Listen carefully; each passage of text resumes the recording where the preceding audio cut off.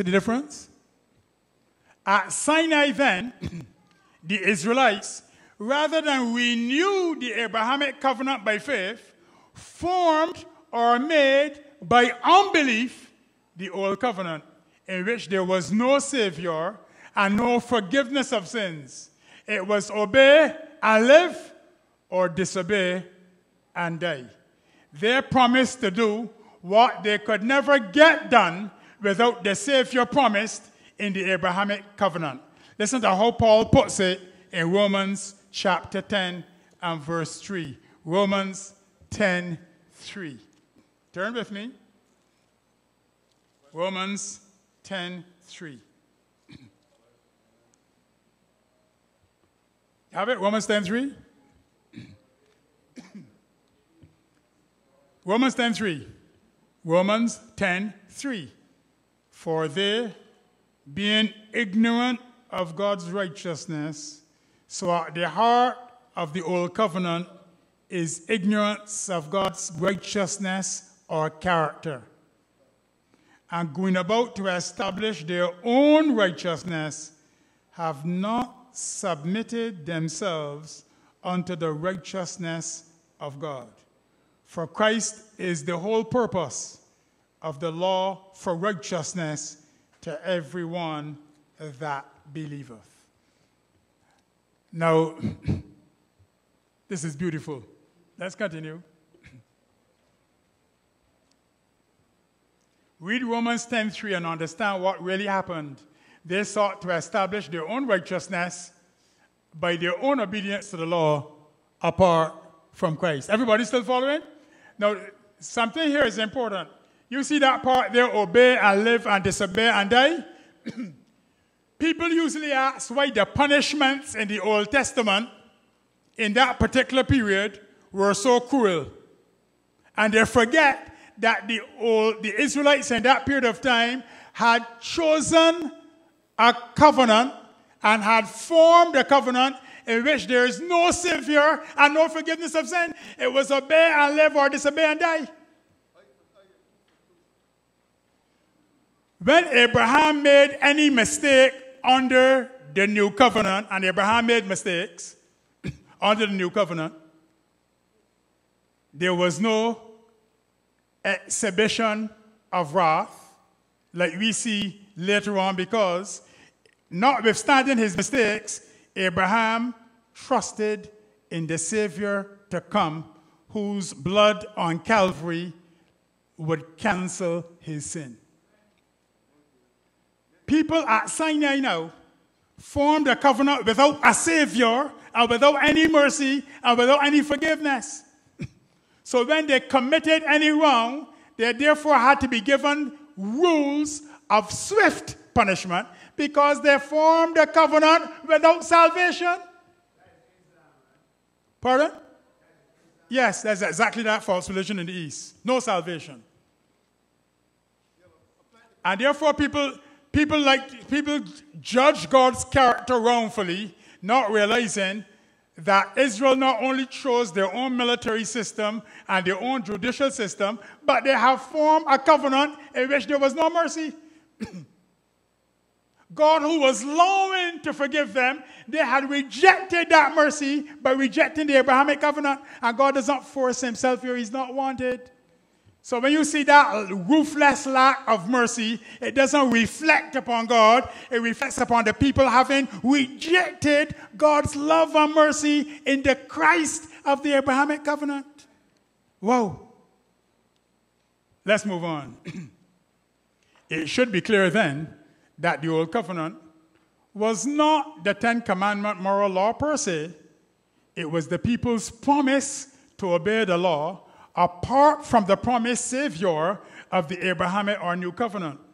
But so attached to the written code did they become that the old covenant which they formed was equated with the written code of the Ten Commandments, so that I have the writers of the Bible actually calling the written code the old covenant because of the people's attachment to it virtually idolatrously.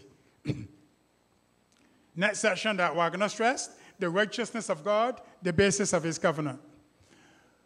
God's righteousness must be the basis of his everlasting covenant.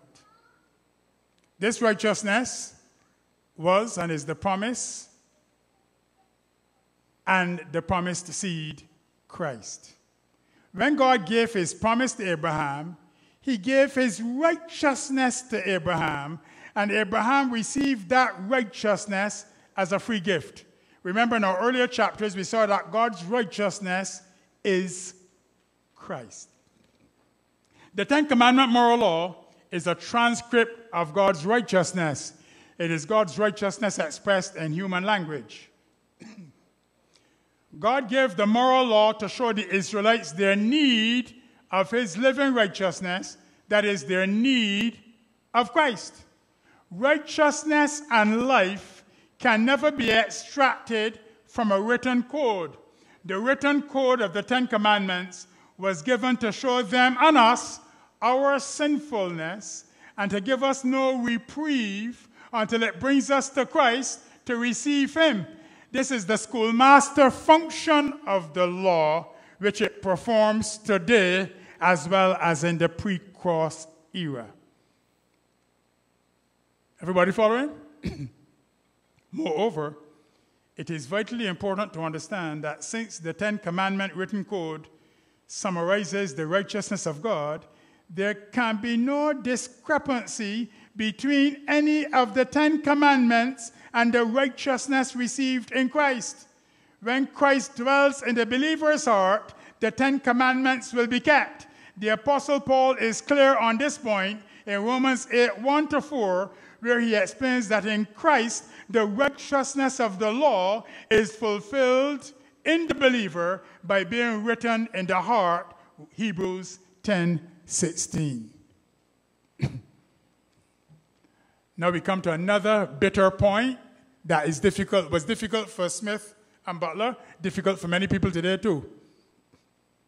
Listen carefully the promised inheritance.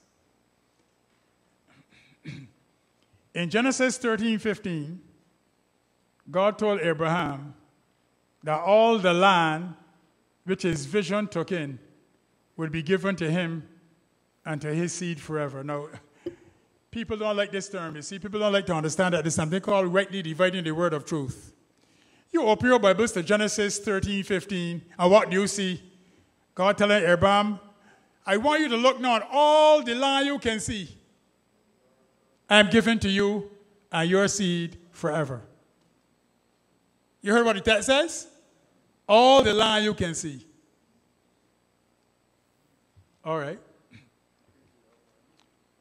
The Apostle Paul interpreted the Genesis 13 15 inheritance in Romans 4 13 to mean the world. Well, well, well. Watch it. You read Genesis 13 15, and all you see is Abraham, all the land you can see belongs to you. Listen to Paul. Romans 4 13 is written down there for you. For the promise that he should be heir of all the land he could see Half the church sleeping. Half the church sleeping. For the promise that he should be heir of all the land that he could see. The whole world was to Abraham, was not to Abraham or to seed through the law, but through the righteousness of faith. In other words, all the land that he could see in Genesis 13 15 is all of a sudden interpreted by Paul to mean the world. Well, well, well. but Paul did not even stop there. In Hebrews 11:10, Paul wrote that Abraham looked for the New Jerusalem. He looked for a city whose maker and builder is God. So look, look how the Apostle Paul deals with Scripture. Now, answer me. Do you have you ever read how Jones reasoned out how Paul must have arrived at his conclusion. Jones says this world, because it is a sinful world, is cursed and therefore has to be burnt up. And the world over which the second Adam will have jurisdiction is the earth made new. And Jones says that Paul used that line to arrive at this argument. It was incontrovertible. Hmm? In other words, Abraham saw with his physical eyes at the earthly level, but saw with his spiritual eyes the new heavens and the new earth and the kingdom to come. As Paul said, he looked for a city whose maker and builder is God. That's amazing exegesis. Now, watch it now. Uh, let's look at, uh, or let's read on. Let's read on. In other words, the promised inheritance is what? The earth made new, which Christ and his saints will possess after the millennium of Revelation 20. Before that, of course, they will be in the New Jerusalem. Hence, Waggoner understood the statement. Let's read Galatians 3.19. Back to Galatians 3.19. This is a text which gives a lot of people trouble. It gives Smith and Butler trouble. Galatians 3:19. Watch it. Galatians 3:19. Wherefore then serve of the law? It was added. We already proved that this word added already means spoken because of transgressions, or the law entered because of transgressions. Watch it. Till the seed should come to whom the promise was made. Pause. The Sunday keepers argued that this statement, till the seed should come to whom the promise was made, referred to the first advent of Christ. And therefore, they argued that the law, that the old covenant, and therefore the law, they argued, finished with the first advent of Christ. And Waggoner said, No, you don't have to be afraid. Butler Smith, you don't have to be afraid of those arguments. They're wrong. This text is not speaking of the first advent of Christ. Are you following me? You following Waggoner? No, these are lines. When you see God send light through men, like how he sent that light through Waggoner, the reasoning was beyond theology of the day. You had men with all sorts of doctorates of theology in the day who couldn't match off all of this because it was a pure line from the throne of God and not from the institutions of men. So Waggoner said, Galatians 3:19 till the seed should come to whom the promise was made is not speaking of the first advent. Let's go on. Waggoner understood the statement in Galatians 3:19 till the seed should come to whom the promise was made, to be speaking not of the first advent, but of the second and third advents of Jesus as King of kings and Lord of lords, to possess and reign over the new heavens and the new earth. Therefore, Galatians 3:19 does not teach that the functions of the law cease at the first advent, but that those functions endure to the end of time. Fantastic. You see, and the Sunday keepers using that had Butler and Smith in trouble. And we're going to say, you, all, you don't have to be afraid of those Sunday keepers. We can use the law in Galatians 3, prove that it is the moral law, and show that it doesn't cease its function until the end of the world, until every last sinner is, is saved. This was revolutionary stuff. And as the man who wrote a book on this recently uh, said, Sadly, most of the theologians in the Adventist church, let alone in the world, have any clue of this light. They're not taught it. And if you mention it to them, they call it false doctrine.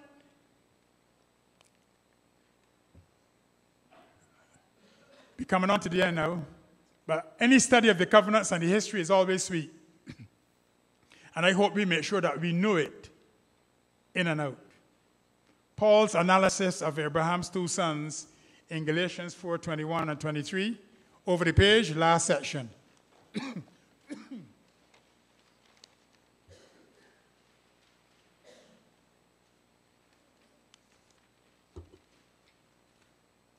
Abraham and Sarah had God's new covenant promises. The central promise was the promise of a son. After what they considered a long wait, unbelief developed in Sarah's mind, and she suggested to Abraham a scheme by which he could obtain a son. She told Abraham to go into Hagar and get a son. This he did. But soon there was trouble, and Sarah regretted her decision to let Abraham get a son from Hagar. All of this you knew, you know, and it was recently ably gone through by Elder Newton. Later on, Abraham's and Sarah's faith in God's promise was restored, and Isaac, the son of promise, was born. Ishmael, the son of the bondwoman, bondwoman means slave, Hagar, was born after the flesh. Isaac, the son of the free woman, Sarah, was born by the promise of God. In an amazing piece of inspired exegesis, the Apostle Paul tells us in Galatians 4:24 that the two births of the two sons from the two women are the two covenants. Well, well, well. That's amazing, huh? The birth of Ishmael from Hagar was equivalent to the Sinai or Old Covenant and is a producer of bondage, Paul says. And the birth of Isaac from Sarah was the new covenant, which is freedom, hallelujah, from sin. The Hagar Ishmael development was the result of unbelief in God's promise, which led to the Abraham Sarah attempt to fulfill God's promise by their own works of the flesh. Notice how Ishmael was born. Ishmael was born because, because of Sarah's and Abraham's unbelief. Listen to this one. Now, to all appearances, Ishmael was a handsome, physically strong, well built young man. What could be wrong with him?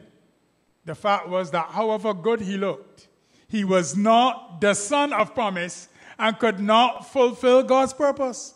So, however good machinery may look without the Holy Spirit, it is not the son of promise and cannot fulfill the purpose of God.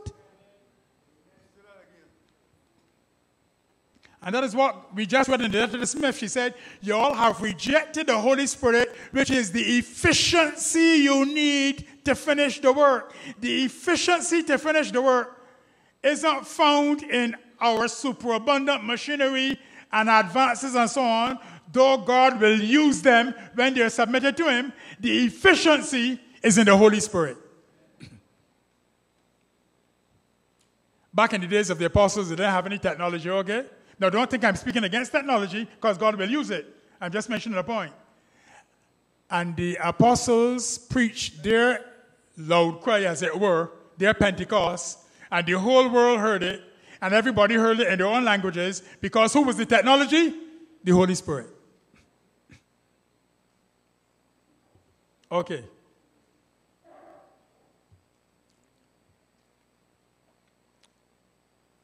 Next point.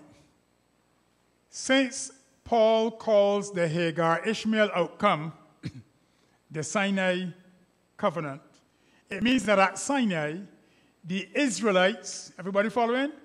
Out of unbelief in God's promises, produced their own promises and their own efforts of the flesh to produce righteousness and to earn the inheritance by works of law rather, by, rather than by the faith of Christ. Old covenant experience may coexist with new covenant experience in a church, but ultimately, trouble will develop. Whatever is born of the flesh ultimately will persecute whatever is born of the Spirit, leading eventually to separation between the two, as Paul says in Galatians 4 29 to 30.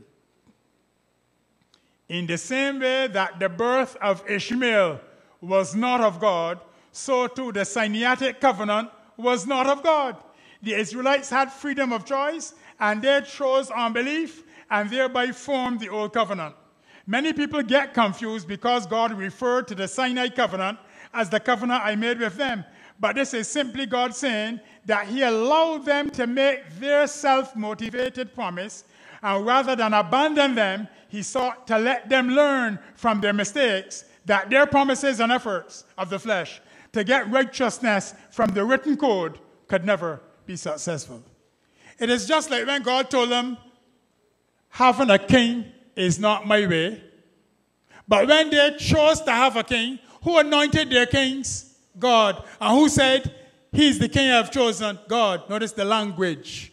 And if you don't understand this language, you will always be in trouble.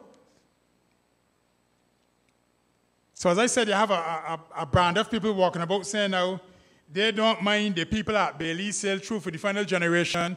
They're taking the Bible exactly as it reads. I said, any Adventist who takes the Bible exactly as it reads rather than exactly as it means by letting the word interpret the word will be in trouble because it will come across statements like these absent from the body, present with the Lord. The smoke of their torment ascendeth up forever and ever. The worm never dies. God hardens their hearts, and you will be in serious trouble when you meet the Sunday keepers. Of all people, Adventists should know we don't go by the surface meaning like the Apostle Paul. We rightly divide to let Scripture interpret Scripture. Summary The Abrahamic covenant was the new or everlasting covenant. It was God's promise of Christ. Christ is the new covenant. In him we have righteousness and rest which will be manifested in obedience to the Ten Commandments and keeping the seventh day Sabbath. The Sinaitic covenant was the old covenant formed by the empty promises of the unbelieving Israelites at Mount Sinai. Throughout history, both before and after the cross, the new and old covenants have been and are conditions of the heart either of faith or of unbelief, respectively.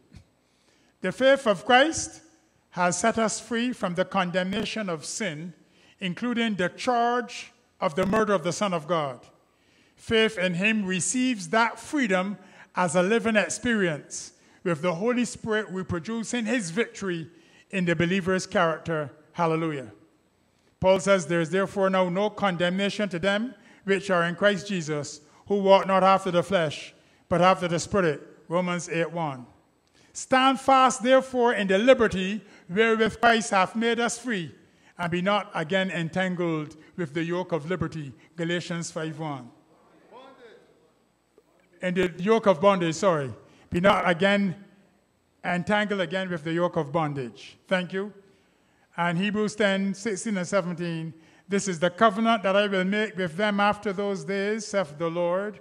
I will put my laws into their hearts and in their minds, and I will write them, and in their minds will I write them, and their sins and iniquities will I remember no more. Hebrews 10 16 and 17. The new covenant is the everlasting gospel of justification by the faith of Jesus to be experienced by faith in Jesus as we heard this morning.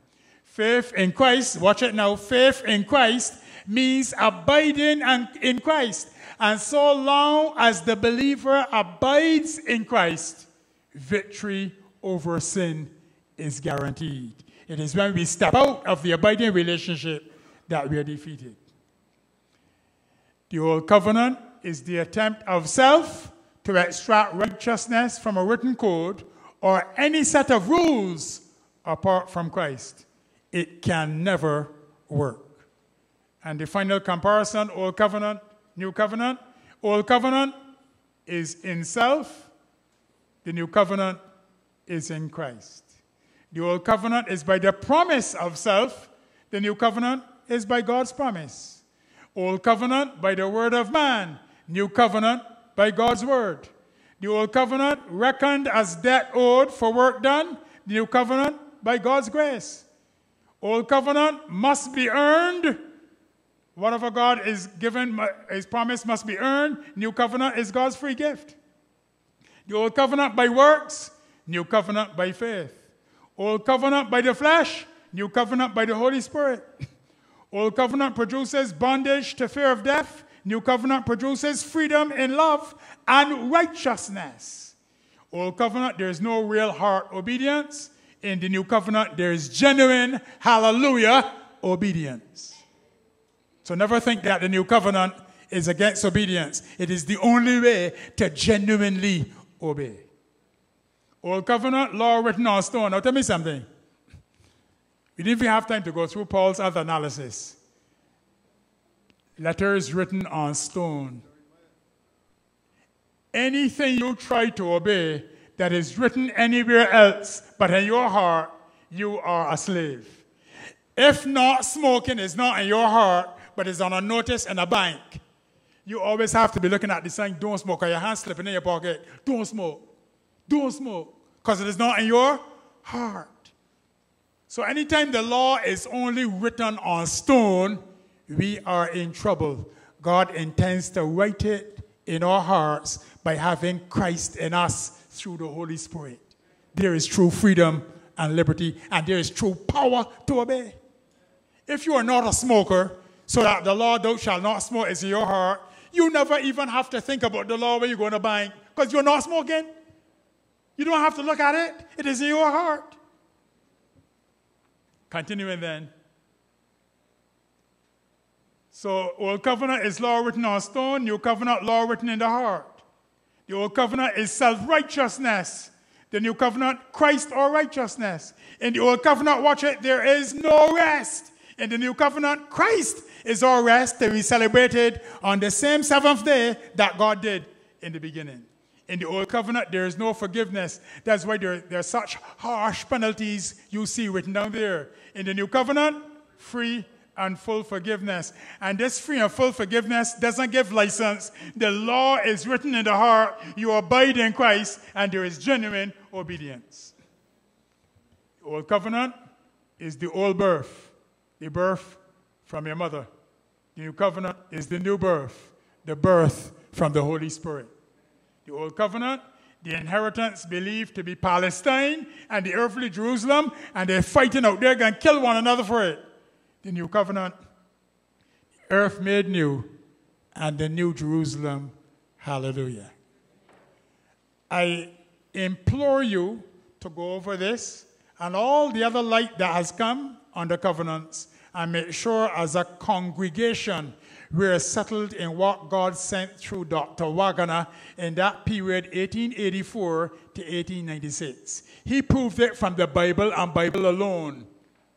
Make sure we follow his line and satisfy ourselves that we know it, and not just know it to talk about it, above all, experience it.